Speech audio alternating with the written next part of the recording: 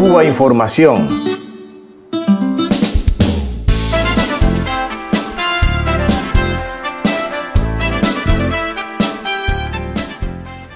La llamada disidencia cubana, aliada del gobierno de Estados Unidos, resucita las acusaciones más trasnochadas contra el gobierno cubano.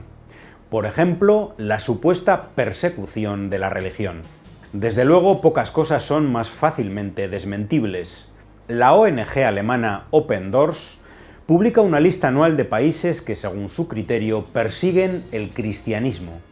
Entre los 50 países del mundo con persecución severa está Colombia, por ejemplo, pero a Cuba ni se la menciona.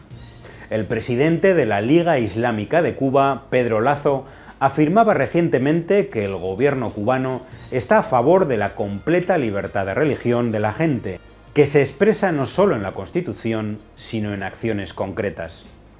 La directora general de la Sociedad Budista Soka Gakkai de Cuba, Joanet Delgado, remarcaba el clima de libertad religiosa que se vive en la isla, un escenario favorable, según su opinión, para la práctica del budismo, que impulsa la convivencia pacífica y la armonía con la naturaleza. El presidente de la Iglesia Morava cubana, Armando Rusindo, decía que en Cuba se percibe un despertar de la fe, que se nota en la cantidad de gente que asiste a las iglesias.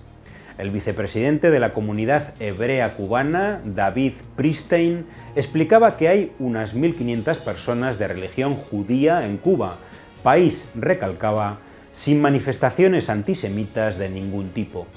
Y así se podría hacer un repaso por los testimonios de líderes religiosos de las decenas de confesiones que existen en Cuba, en natural convivencia, respetadas por las autoridades y amparadas por las leyes.